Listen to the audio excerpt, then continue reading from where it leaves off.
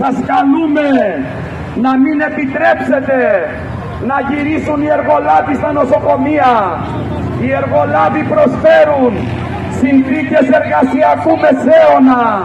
Οι συνάδελφοι δουλεύουν πολλά χρόνια, προσφέρουν σημαντικές υπηρεσίες, καλύπτουν πάγιες και διαρκείς ανάγκες.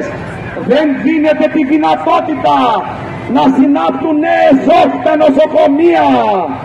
Επιστρέφουν οι εργολάβοι και οι μπράβοι τους προσφέρουν συνθήκες εργασιακού μεσαίωνα.